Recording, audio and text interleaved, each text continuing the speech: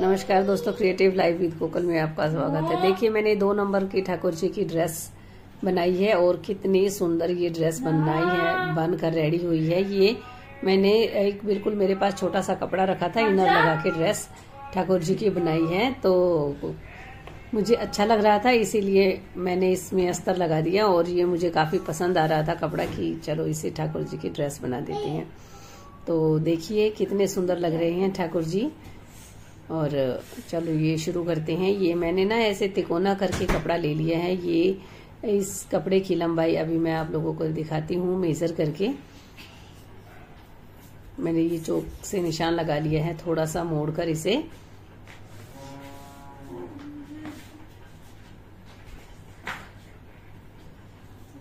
ये देखिए, ये बस ढाई इंच की ही लंबाई मैंने इसमें ली है और इसमें थोड़ा सिलाई में भी चला जाएगा क्योंकि दो नंबर के ठाकुर जी की ड्रेस ही है ये। इसके मैं चारों तरफ़ सिलाई लगा दूँगी और थोड़ा सा इसे पलटने के लिए थोड़ा सा हिस्सा खुला छोड़ दूँगी। ये देखिए कॉर्नर को काट कर ठीक कर लेंगे। और इसमें मैंने कट्स नहीं लगाए थे, इसमें कट्स इसलिए नहीं लगाए थे क्योंकि जो मेरे पास ये फैब्रिक है ये थोड़ा बनारसी टाइप का फैब्रिक था तो इनर लगाने के बाद ये आसानी से पलटा जाएगा और इसे इसमें फिनिशिंग भी अच्छी आ जाती है।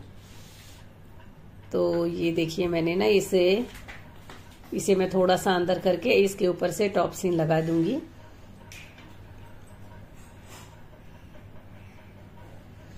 ताकि ये अच्छे से बैठ जाए। ये देखिए मैं इसके सिर्फ़ ना यहाँ दो हिस्से पर ही टॉप सीन लगाऊँगी। ऊपर की साइड इसमें टॉप सीन नहीं लगाऊँगी, क्योंकि ऊपर के हिस्से पर मुझे एक पट्टी रखनी है।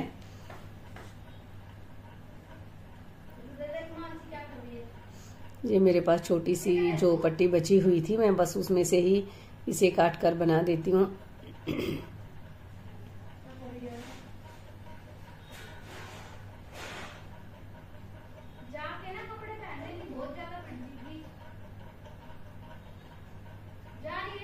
इसको मैंने दोनों साइड से ना आप उतना देख लीजिए कि छोटा सा जो हमें बांधने के लिए कपड़ा चाहिएगा जो डोरी चाहिएगी उस हिसाब से हम थोड़ा सा कपड़ा इधर और उधर दोनों साइड से इसे निक, इसमें निकाल लेंगे।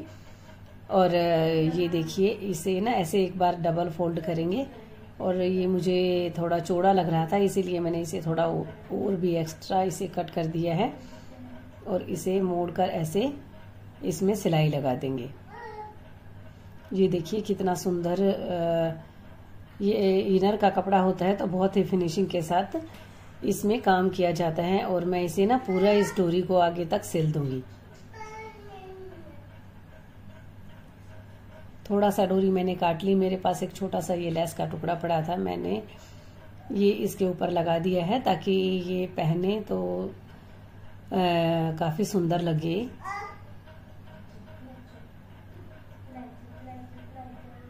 जी देखिए।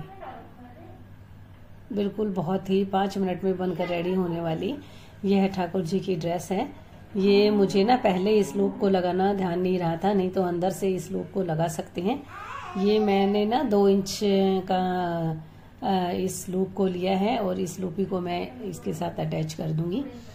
इसे बाहर से भी लगा सकते हैं, कोई ज़्यादा दिक्कत वाली बात नहीं है, क्योंकि ये इनर का कपड़ा है तो बहुत ही सॉफ्ट होता है।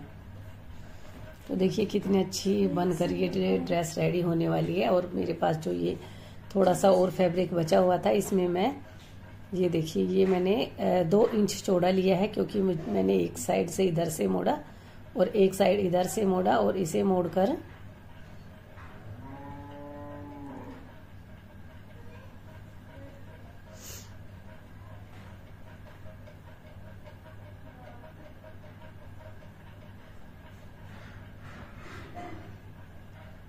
इस पट्टी को मैं बना लूँगी।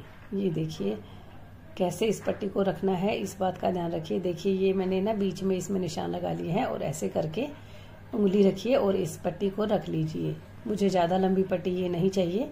मुझे तीन इंच की ही पट्टी चाहिए थी। ये मैं ऐसे करके इस पट्टी को रख दूँगी, क्योंकि ठाकुर जी छोटे ही हैं, दो ही इन, दो ही नंबर के ठाकुर जी हैं तो इसीलिए ये उन्हीं का ड्रेस है तो ज़्यादा लंबी पट्टी नहीं चाहिए क्योंकि मैंने उन्हें, उनके हिसाब से इस ड्रेस को बनाया है। तो देखिए कितनी सुंदर ये ड्रेस बनी